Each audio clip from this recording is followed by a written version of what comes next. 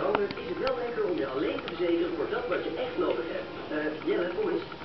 Had je niet beter kunnen kiezen voor de dunne samenwonen? Nee, dat. Hé! Hey, jongens, Bij jouw verzekeringsbundel op zeker.nl.